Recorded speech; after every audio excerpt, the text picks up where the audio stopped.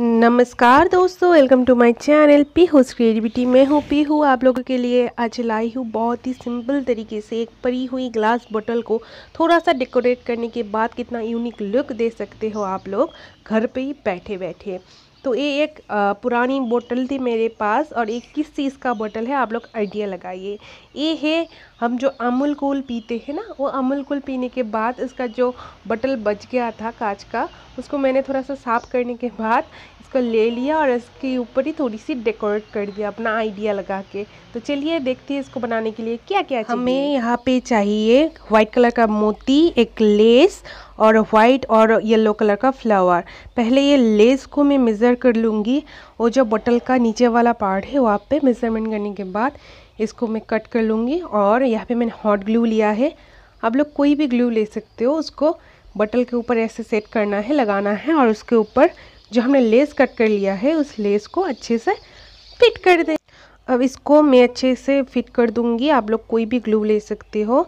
और hot glue लिया है मैंने। हॉट ग्लू से ऐसे होता है कि अगर एक बार लगा दिया ना और वो मतलब ख़राब नहीं होता है और बहुत दिन तक टिक जाता है और अच्छे से फिट हो जाता है। आप लोग कोई बात नहीं, आप लोग के पास अगर हॉट ग्लू नहीं है, आप कोई भी ग्लू ले सकते हो। फेबिक्रिल अच्छा ऑप्शन है।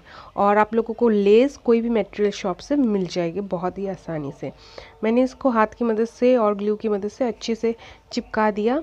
आप देखिए इसके बाद इसका जो ऊपर वाला पार्ट है सेम टू सेम ऐसे ही ऊपर वाला पार्ट को भी मैं बोतल के ऊपर वाला हिस्से को भी मैं ऐसे ग्लू और लेस की मदद से चिपका दूँगी। मेज़रमेंट कर लिया है मैंने। ग्लू और ऐसे मैंने चिपका दिया है। ये देखिए, बस अच्छे से चिपक जाना चाहिए।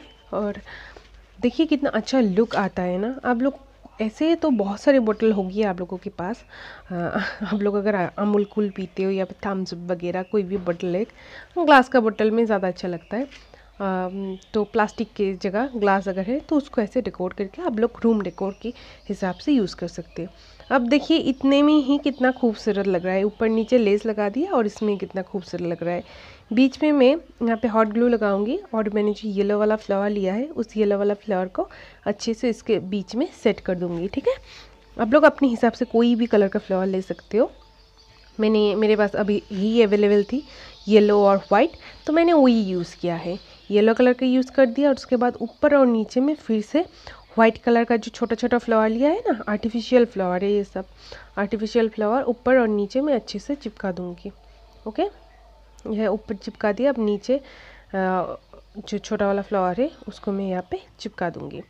बस चिपका दिया। अब चिपकाने के बाद यहाँ पे भी अच्छे लग रहे हैं और मैं इसको थोड़ी सी इन्हेंस करने के लिए इसके ऊपर फेबिक्रिल जो ग्लू है, उसकी मदद से, उसको पहले मैं बटल के ऊपर ऐसे लगाऊँगी और उसके ऊपर लगाने के बाद जो वाइट कलर का हमने काटा हुआ, बड़ा वाला वाइट कलर का मोती है ना, वो एक एक करके चिपका दूँगी।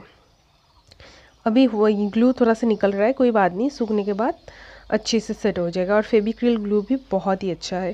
ठीक है, आप लोग को ज़रूर इसको ट्राई कीजिए। अगर आप लोग को हॉट ग्लू भी नहीं है ना तो आप लोग यही यूज़ कर सकते हो। बस मैं एक एक करके यहाँ यहाँ पे ऊपर चिपका दूँगी।